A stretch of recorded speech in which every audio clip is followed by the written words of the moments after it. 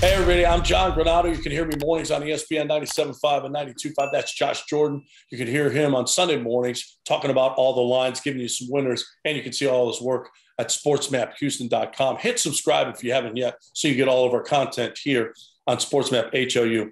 Jake Odorizzi, Josh, his return seems imminent after the no hitter, after the way Urquidy has bounced back. Garcia's been good. Framber's an all star. JV, certainly not taking those guys out of the rotation. What do you do here? Do you go back to a six man rotation? We know JV likes to pitch every, he ain't going to do that. He wouldn't even wait another day to pitch here against Cole, which Cole didn't either, but he wouldn't even do that. So JV wants to pitch every five days. What do you do with this rotation now? I think it is that six man rotation thing, John. I know Verlander seems a little against doing it, but you know, one of the pitching coaches for the Astros, Josh Miller, he was talking with Chandler Rome, and you know, he said all that depth is a good thing. And what's interesting is they only have one off day between now and the All Star break, and then after yeah. the All Star break, they play 19 straight.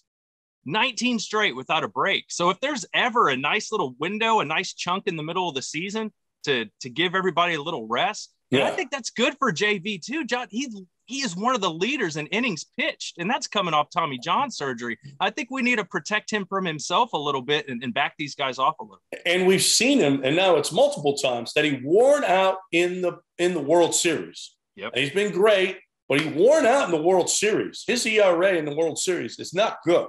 So maybe if he stays stronger. He doesn't want to do that. He loves to get his numbers. He's got his he's got his routine that he loves to go through. Maybe it's a six man rotation, but but Verlander's only five. Maybe everybody gets skipped and moves down the line. Verlander pitches every five days, and then you've got the six the, the other six guys that are that are moving in and out of there. I don't know if that's the best way to go about it because now you've got a, one less guy in the bullpen because you've got a limited number of, of, of pitchers now on your staff. That's a new rule that they've got. You can only have so many on your staff. So I, I don't I don't know that I would put okay, let's say they're going to go five. Let's say they're going to stay with five. Is Javier out of this rotation? If it was up to me, hell no.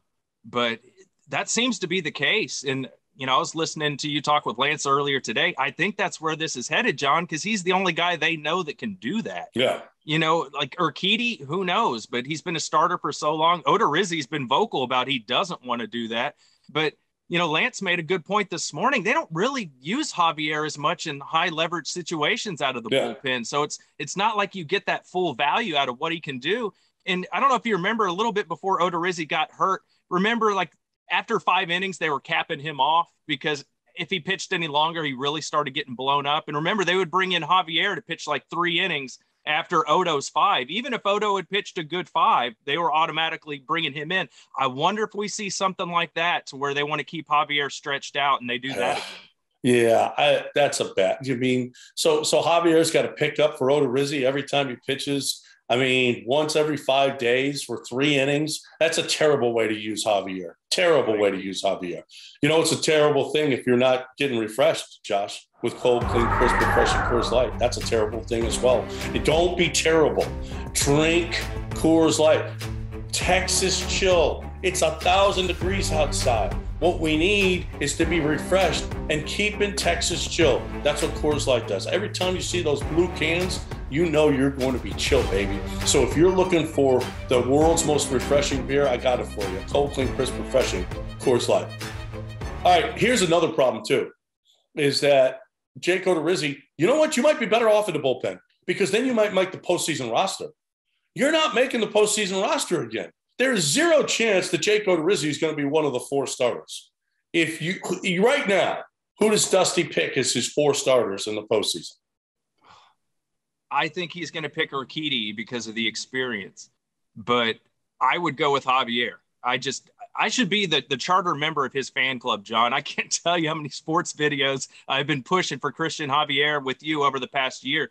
I just I love his upside, but I think you know Dusty he's going to lean on experience. We've seen Urquidy even in 2019 he pitched in the World Series, did a good job. I think he's going to lean on experience. I think Urquidy will be that. Well, it depends. Is McCullers back? That's the other thing we got to account here, okay. right? All right. So And, and oh, by the way, you got to kick another guy out of the rotation when Lance McCullers comes back. And who's that going to be? Okay, so it, this is this is getting you got you have an abundance of wealth here. What's the what? So then, if you have too much of a good thing, what do you do? You got to get rid of a, a good thing. Jake Odorizzi on the trade block, and maybe Jake Odorizzi and a couple of young players can bring you back a center fielder that can actually hit, that you can count on, that you don't have to bat ninth in the order, that is going to knock in some runs at a big time.